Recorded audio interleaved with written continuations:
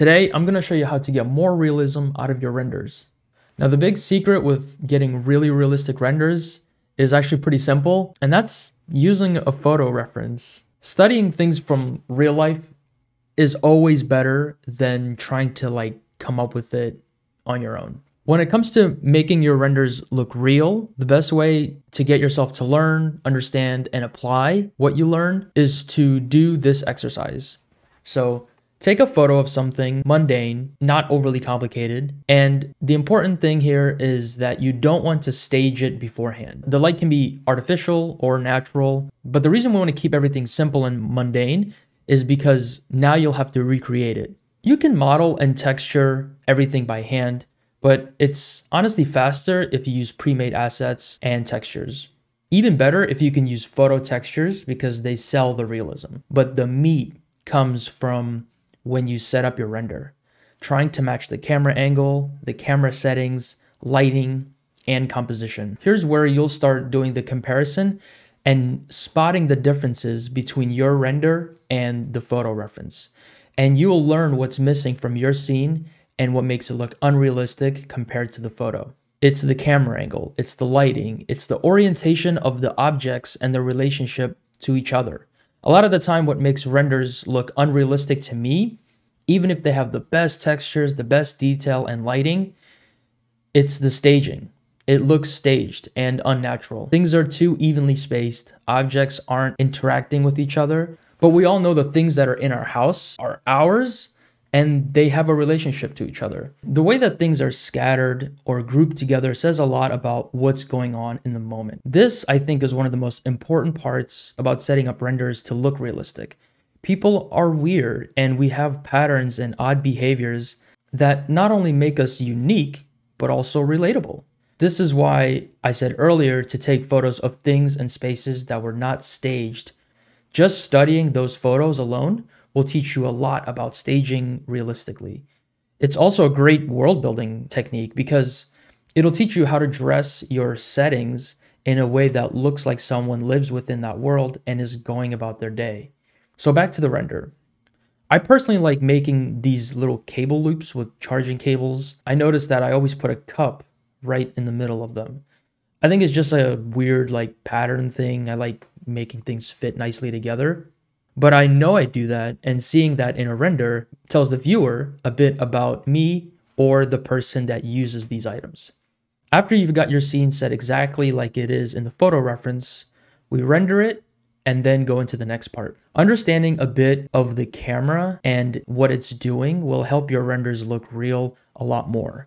When we take a picture with our phone, let's say, the phones are smart and they are doing a lot of post processing to make the image less noisy, punchier, and overall more pleasing to the eye. Especially since the camera is still like a physical camera with like glass and stuff inside of it. It's susceptible to lens dust, to lens flares, and just to like overall noise and other imperfections. But that's good because we will take all of that recreate it, and then apply it to our renders to make them look like they were taking on a phone camera. So because the smartphone is trying to post-process the photo after it's been taken, it's actually fixing a lot of the things that we would normally be looking for. So for example, one of the most common things is chromatic aberration. That's this color kind of separation thing that happens at the edge of photos. Concept artists love adding this stuff to their images because it makes them look more cinematic.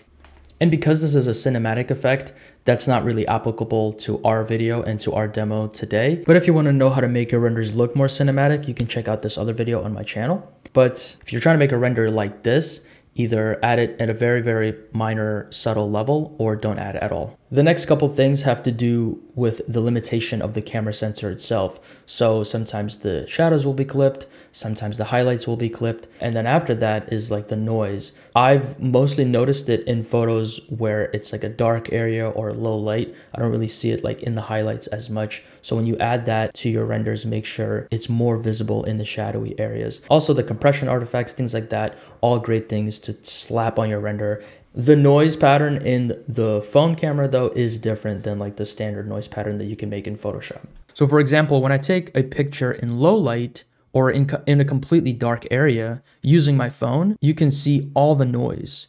Now, phones do this thing where even after the picture is taken of like a, just a purely dark space, it tries to clean it up. So it gets rid of a lot of that noise that we kind of want it to keep. We can either use the data from the picture because there's still artifacts and stuff there, which could be useful, or we can just get a screenshot of the raw noise and apply it directly to our renders. After learning this, I wanted to try making a non-standard noise pattern in Photoshop because I like using Photoshop for the noise. It's really fast. One cool way to achieve this is by layering multiple noise patterns over each other to make it look realistic. Besides this, sometimes making it look even more amateur or blurry can fool the eye or adding harsher effects like VHS distortion or JPEG artifacts. Sometimes it's just the lighting that can make a huge difference. Like these spooky renders that I made, I have the lighting very limited. There's a lot you can do, but I hope that you've learned a lot here and I've equipped you with the knowledge and techniques to try in your work. As always, thanks for watching. And if you want to know more or see more, just let me know in the comments down below. I always check those out. Uh, this video is sponsored by, it's my patrons. The Patreon is what supports me working on this kind of stuff. So if you want to support more content like this, you want to just like get updates and get more behind the scenes type stuff, then that's the place for that. I'll also be dropping the project file from this video on Patreon. So if you want that you want to poke around, th that'll be right there. But yeah, other than that, peace and bug grease.